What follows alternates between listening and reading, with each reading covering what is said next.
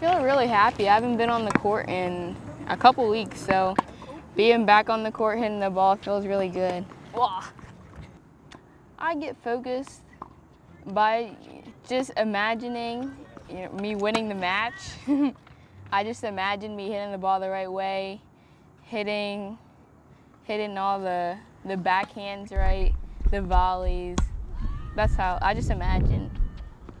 Before a match, I'm usually, you know, really nervous. The same with the test, but I know that I studied for the test just like I practiced all the right things for tennis.